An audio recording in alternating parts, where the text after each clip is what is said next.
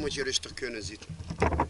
Naast uh, PVV'er of naast uh, Leefbaar Rotterdammer?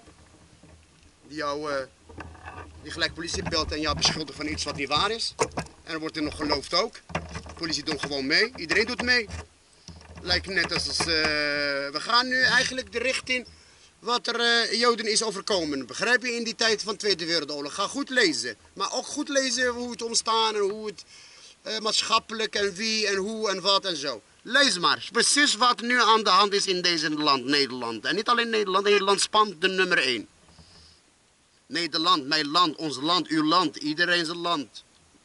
Of je nou uh, uit uh, Tokio komt, als je geboren en getogen nationaliteit, ben je gewoon fucking Nederlander. En als, als de Rutte dat vindt dat niet zo is, moet hij het ook aan de landen toegeven, zeggen.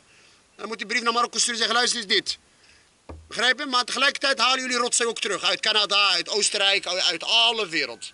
Dan zullen jullie zien hoe het gaat dan met de economie. En dat blijft mijn mening, hè, wat ik zeg. Ik zal het nog een keer benadrukken. Er zijn nadrukkelijk ook lieve Nederlanders. Eerlijke, goeie, met gezond verstand. Dat moet ik erbij zeggen en daar blijf ik ook bij zeggen. Gelukkig houdt dat nog de balans in Nederland. Maar ik ben bang als die laffe honden die de regie hebben en touwtjes zogenaamd. En die zoveel geld krijgen per jaar. Dat ze gewoon fucking losers zijn. Dat ze gewoon de kant kiezen. En ik wil het wel uitspraken niet doen. Ik laat het voor mezelf.